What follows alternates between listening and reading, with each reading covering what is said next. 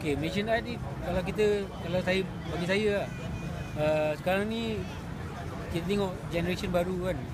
Banyak orang banyak appreciate art lah.